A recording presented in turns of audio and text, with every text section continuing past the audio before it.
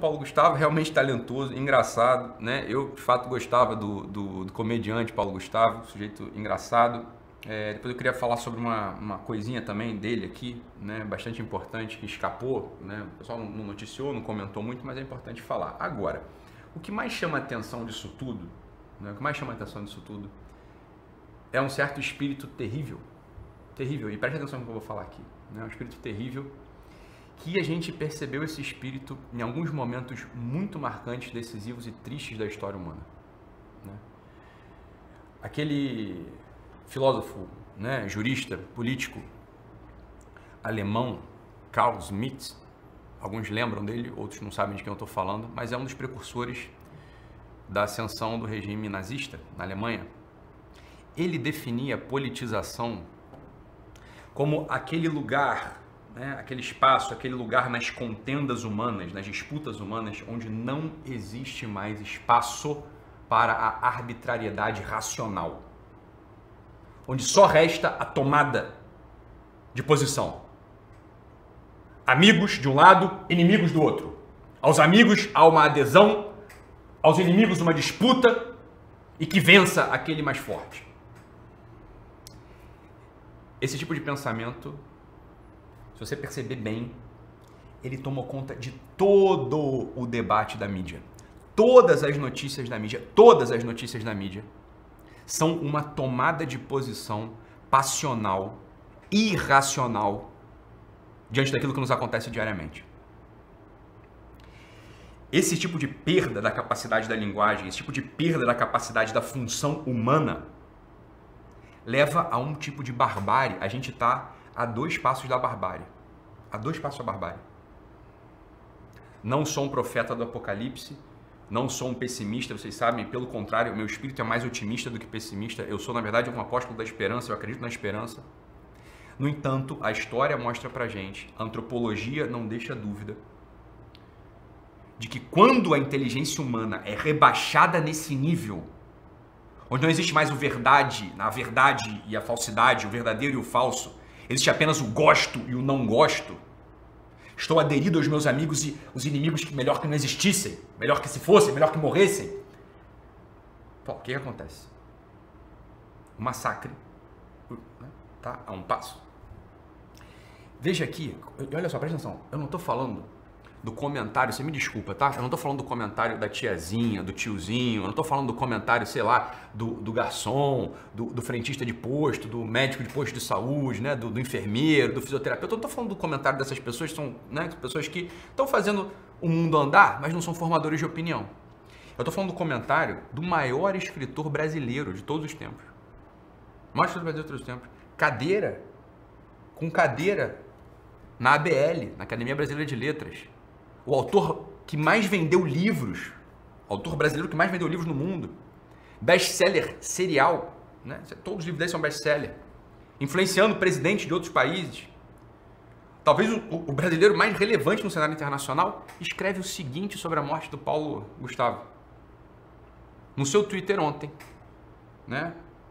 dia 4 de maio, às 10h36 da noite, o escritor Paulo Coelho, de olha, francamente falando, gosto do Paulo Coelho, tá? Eu sei que tem um pessoal aí que não gosta do Paulo Coelho, eu gosto do Paulo Coelho, só pra você saber. Estudei a história do Paulo Coelho, estudei toda a, a, ação histórica do Paulo Coelho, né, como ele fazia a venda dos livros, eu acompanho a carreira do Paulo Coelho desde, né, desde que eu tomei conhecimento de quem é Paulo Coelho. Gosto das fases todas dele, a fase esotérica, de bruxo, da, da verdade com que ele revela a sua vida na, sua, na, na, na, biografia. Depois, né, uma certa reconversão. Eu gosto de Paulo Coelho, não, não estou. Isso é outra coisa também. Que o Carlos Smith aponta. E que é o que parece que acontece em todo mundo hoje. Não se concebe mais, não se concebe mais um tipo de posição, um tipo de pensamento que não tem a ver com gostar e com não gostar, tem a ver com a verdade dos fatos com o que está acontecendo. Quando alguém fala uma coisa, ah, é porque fulano não gosta disso, é porque não gosta daquilo. Presta atenção, isso é o equivalente a burrice, isso é ignorância. Isso é um pensamento de tipo animal baixo. O Paulo Coelho ontem, nosso escritor Paulo Coelho, imortal da Academia Brasileira de Letras, sobre a morte do Paulo Gustavo, ele escreve o seguinte: Você vai imaginar que um escritor vai escrever o que sobre o Paulo Gustavo? Não, um escritor com a espiritualidade do Paulo Coelho, com a visão de mundo do Paulo Coelho, Vai botar lá um conto, né, hindu, falando sobre a morte de alguém. Vai falar sobre um conto chinês sobre a morte de alguém. Não é isso? Vai falar sobre, sei lá, a esperança. Vai falar até de repente sobre igualdade, né? Paulo Gustavo, homossexual, casado com, com, né, com Thales. Então, é, vamos falar sobre igualdade, vamos atenuar as coisas, vamos falar sobre o amor. Você imagina que um autor progressista como Paulo Coelho vai falar uma coisa desse tipo? Que está tocando em alguma coisa de verdade sobre a perda de um comediante, de uma pessoa relevante para o cenário cultural, é, cultural não, mas no cenário de entretenimento do país. Não é isso? Você espera isso. Não é isso? Você espera? Paulo Coelho se manifestou sobre a morte de um comediante de relevância nacional. Você imagina que ele vai produzir uma peça literária. Ou uma peça afetiva, uma peça poética, uma peça de consolo, né? Para a família, para aqueles que, que, que, estão se sentindo órfãos da comédia, ou aqueles que estão de fato sentindo a falta do ente querido que vivia no, seu, no seio familiar. Mas não. O Paulo Coelho, né? Na melhor postura smithiana, né? Carlos Smith bateria palmas para isso. Aqui, ó. Paulo Coelho, né? escreve. Assassinos de Paulo Gustavo, dois pontos. Travessão. Quem dizia é só uma gripezinha. Não passa de 200 mortes. Cloroquina resolve. Lockdown destrói o país. Máscara nos faz respirar ar viciado. Eu obedeço o comandante. E por aí vai. Ponto. E ele conclui: canalhas da pior espécie. Olha, não existe nenhum espaço para análise racional do fenômeno da perda de uma pessoa engraçada, divertida, filho de fulano de tal, marido de Beltrano de tal, pai de ciclano de tal. Aqui é uma, uma tomada de posição política, a, a politização dos movimentos mentais no pior sentido smithiano. Uma arbitrariedade irracional. Porque olha só, né? a ideologia já definia Karl Marx. A ideologia já definia Karl Marx. É, uma, é um vestimento, é uma, um vestido de que se reveste aquele homem que tem uma intenção de uma ação concreta no mundo. Isso é ideologia. Mas hoje esse, esse vestido que justifica uma intenção concreta no mundo. Qual a intenção do Paulo Coelho aqui? Derrubar o presidente da República. Ponto. E aqueles que, né, bem, falaram que era só uma gripezinha. Agora, é totalmente irracional, porque quem falou que era só uma gripezinha foi o próprio outro progressista chamado Dr. Drauzio Varela. Foi ele que foi o primeiro a falar isso. Né? Se você se lembrar bem. Foi ele que foi o primeiro a falar isso. E depois começa uma série, né, uma pleiade de ignorâncias, né?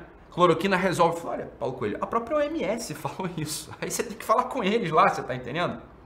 Ah, mas gente morre todo dia. Você, como sujeito espiritual, né, espiritualizado, né, você deveria saber disso. E, e, talvez esse fosse o fio que você deveria conduzir. Né, se você tivesse responsabilidade com o seu público. Né, seu público esotérico, com seu público que tem uma abertura para transcendência.